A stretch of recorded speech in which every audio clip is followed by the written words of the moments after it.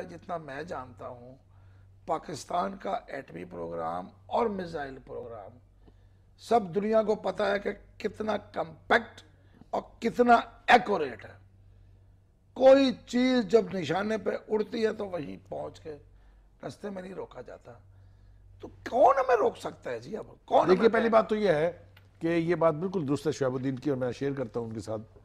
میں ایگری کرتا ہوں ان کے ساتھ کہ اب ہمارے حالات اور ہمارے تعلقات کی جو نوعیت ہے امریکہ کے ساتھ، اب ہم ان سے ڈکٹیشن لینے کے لیے تیار نہیں ہیں۔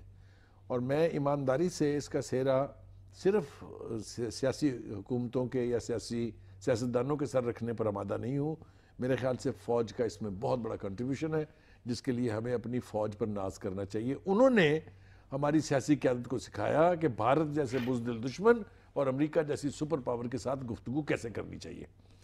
وہ الگ بات ہے کہ جو گفتگو کا آغاز جس سیاستدان نے کیا، اس کی وکٹ، شعب الدین کی فیورٹ پارٹی نے گرا دی ہے، لیکن یہ آغاز ہو چکا ہوا ہے کہ اب ہم امریکہ کی ڈکٹیشن نہیں لیتے ہیں۔ پہلی بات تو یہ ہے کہ وہ یہ کہہ نہیں سکتے تھے ہمیں آکے کہ آپ اس کو محدود کر دیں، کیونکہ ہندوستان نہ صرف یہ کہ دنیا جہان سے اسلحہ خرید رہا ہے، بلکہ اس کے نیوکل پروگرام کے اوپر نہ کوئی چیک ہے، نہ کوئی اس کو پوچھنے والا ہے۔ حتیٰ کہ اس کو سول نیوکلر کوپریشن کا معاہدہ کر کے جو انٹرنیشنل اٹامک کلب ہے، اس کا ایک طرح سے ممبر بنا دیا گیا ہے، جو رائٹ ہمیں ڈینائی کیا ہے۔ اب ہماری سٹینڈ فاسٹنس کا حال یہ ہے کہ امریکہ کے آنے والے یہ ٹٹو جو ہے نا، یہ جو کبھی کوئی اسسٹنٹ فارن منسٹر آ گیا، کوئی ڈپٹی فارن منسٹر آ گیا، ان سے اب ہم سمجھ نہیں رہے ہیں اور امریکہ کی قیادت کے لہجے، لب و لہجے میں تبدیلی آئی ہے۔ وہ اب پھر کہنے لگ گئے ہیں کہ نہیں جناب، پاکستان کی بہت قربانیاں ہیں۔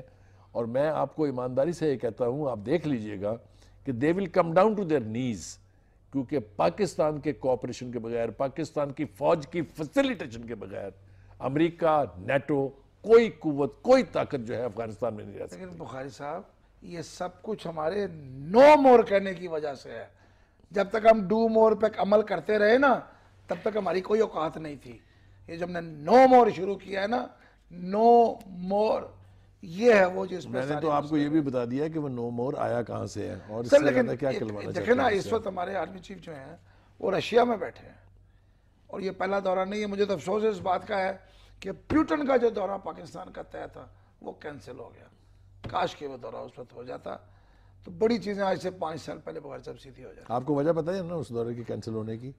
کیا بتائیں؟ روس نے یہ آفر کی تھی پاکستان کو کہ ایران کے ساتھ آپ کی گیس پائپ لائن کو ہم فائنانس کر دیتے ہیں۔ لیکن ہم اس پر فائنانسنگ کسی ٹینڈر کے تحت نہیں کریں گے۔ جتنے کی بھی اس کی کاسٹ ہم کر دیتے ہیں لیکن چونکہ امریکہ ہماری شرک دبائے ہوئے تھا ہماری سانس روکی ہوئی تھی اس نے لہذا ہم نے امریکہ کے کہنے پر اس کو ڈینائی کر دیا جس کے جس پر ناراض ہو کے پوٹن نے اور اس کے بدلے ہم نے مانا کیا ایک ہزار میگا واٹ بتی تاجکستان سے اور گیس تاجکستان سے کب آئے گی؟ آج سے پچیس سال بعد۔ جب امن ہوگا وہاں سوری دو ہزار چوبیس کا تو ٹارگٹ خود انہوں نے دیا ہوا ہے۔ اس وقت تک افغانستان میں کیا ہو رہا ہوگا؟ کیا وہاں سے سیف پائپ لائن گزر آئے گی کہ نہیں؟ یہ کسی کو پتہ نہیں ہے۔ ایک ایسی پائپ لائن گیس کی جس سے ہم پچاس ہزار میگا واٹ بجلی جو ہے ڈیلی پیدا کر سکتے تھے اس کو اس پروجیکٹ کا بیڑا غرق کر کے پاکستان کی اکانومی کو تہس نہس کر دیا سر ہمیں پانی کے نیچے گزر کے سمندر پار سے ایل این جی بھی نہ لانی اور مجھے یہ کہہ لینے دیجیے کہ اس کا سارے کا سارا ذمہ داری جو ہے وہ اسی حکومت کے اوپر ہے، کیونکہ یہ انہی کے دور میں ہوا۔ انہی کے فورن آفس نے وہ لیٹر سرکولیٹ کیا تھا تمام پاکستان کے ٹریڈرز کو اور بزنس مین کو کہ کوئی آدمی جو ڈیل کرے گا ایران کے ساتھ، اس کو ہم بلیک لسٹ کر دیں گے۔ یہ ذمہ داری جو ہے، یہ اس حکومت کے گلے سے اتر نہیں سکتی ہے، میں آپ کو بتا رہا ہوں۔ ایک طرف ہمیں یہ کہا گیا اور دوسری طرف امریکہ جا کے ایران سے معاہدہ کر کے بیٹھ گیا۔ ان کو سب کچھ تسلیم کر لیا؟ دیکھیے امریکہ جو ہے وہ ایز اے سپر پاور اس طرح کی ڈرامہ بازیاں افورڈ کر سکتا ہے۔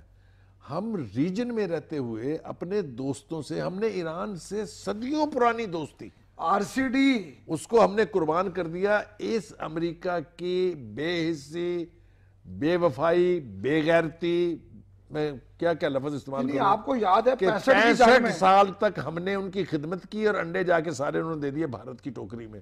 جو چپ اتنے ہی سالوں تک روس کا ایجنٹ بن کے امریکہ کے خلاف کے مخالف رہا۔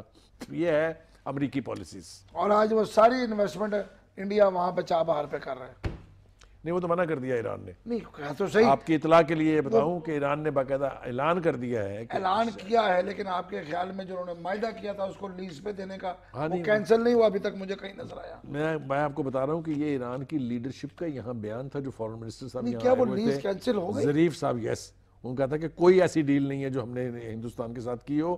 اور ابھی بھی وہ انہوں نے کہا کہ ہم تیار ہیں کہ آپ چاہ بہار کو ایز اے سپورٹ پورٹ کے طور پر لے لیجیے کچھ بھی نہیں کرنا ہے سڑک بنانی ہے بنی بنائی ہے کچا ٹریک تو ہے ہی ساٹھ کلو میٹر ٹوٹل ٹریک ہے ایک سڑک بنانی ہے it's only sixty miles away from Gwadar ایک گیٹ ایک گیٹ لگانا ہے بارڈر پہ۔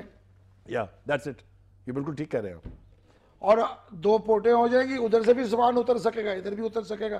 ادھر اتر کے ادھر آ جائے گا۔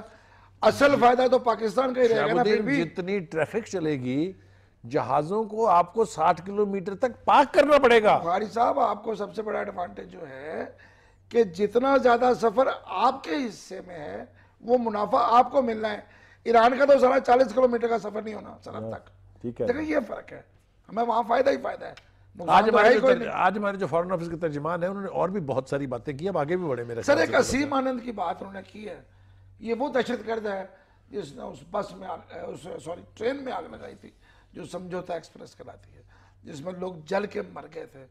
پیچھے ایک کرنل راجپوت صاحب آپ میرا خیال زیادہ بہتر جانتے ہیں دیکھیے گزارش یہ ہے کہ دو باتیں جو ہیں اس زمن میں بہت ضروری ہے کرنی۔ ہمارے ہاں جس کا بھی نام لیا گیا ہے غلط ملت ہندوستان میں ہندوستان کی حکومت نے ہمیشہ مطالبہ کیا کہ جی ہمیں دے دے۔ چاہے وہ حافظ سعید تھے چاہے وہ اس سے پہلے بے پناہ نام ہے کبھی وہ کہتے ہیں کہ جی وہ چھوٹا ارجن جو ہے وہ پاکستان میں رہتا ہے کبھی وہ کہتے ہیں داؤد ابراہیم پاکستان میں رہتا ہے۔ پہ بات کریں کشمیر پہ نہ چلیں کشمیر تھوڑی سی بات کرنا چاہتا ہوں۔ لیکن ہماری حکومت کو کیوں موت پڑتی ہے یہ کہتے ہوئے کہ کرنل پروہت ہمیں دیں جس نے ذمہ داری لی عدالت کے اندر اور یہ اسیم جس کو اب رہا کیا یہ بھی ہمیں دیں۔ یہ یہ ہم ہم کیوں نہیں ہماری زبان کیوں ٹوٹتی ہے یہ کہتے ہوئے کہ ہمیں دیں ہم ان کا ٹرائل کرنا چاہتے اللہ کرے جی ہم اتنا بولنا سیکھ ہیں لیں۔ بڑھ جائے گا بہرحال یہ تین مزید کشمیری شہید ہو گئے ہیں۔ کھلے ہم پیلٹ گن چلی ہے۔ لوگوں کے جسموں میں چہروں میں جا کے پھر وہ چھرے لگے ہیں۔ پھر زخم بنے ہیں۔ پھر کیا ہے سر یہ؟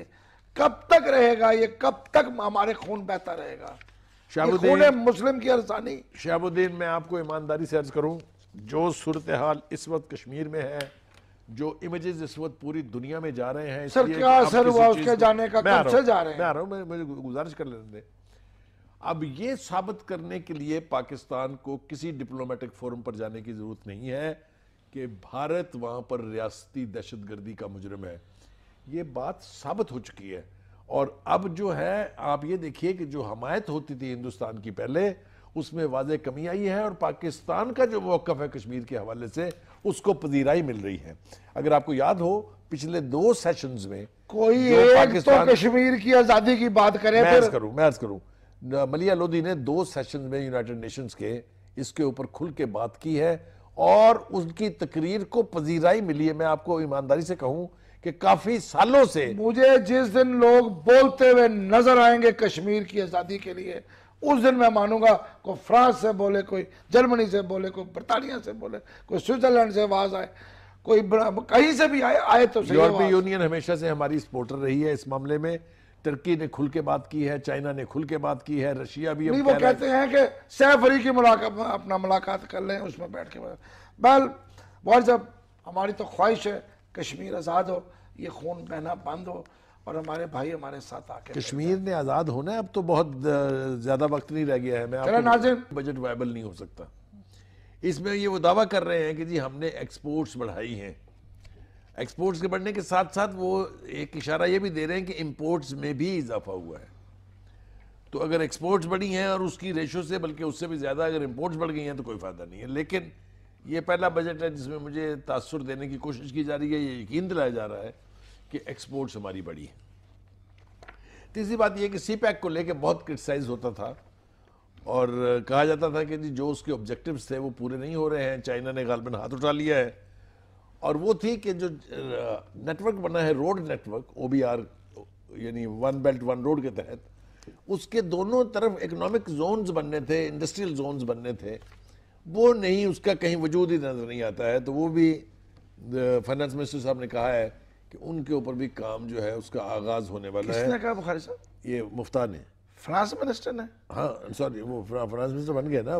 فرانس منسٹر نہیں بنے سر۔ بن گئے مجھے یہی سب سے بڑا اعتراض ہے دیکھیں he was a stranger in the house he was not an elected person نہ وہ سینٹ کے ممبر ہیں نہ وہ قومی اسمبلی کے ممبر ہیں۔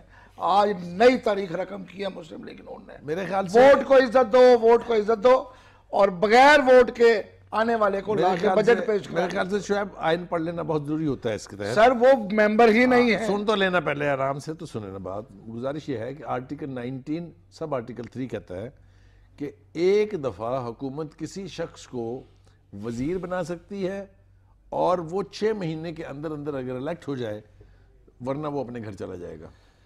گزارش یہ ہے کہ ایک شخص جس نے بجٹ ایز این ایڈوائزر بنایا حکومت کی خواہش یہ تھی کہ وہی اس کو پیش کرے۔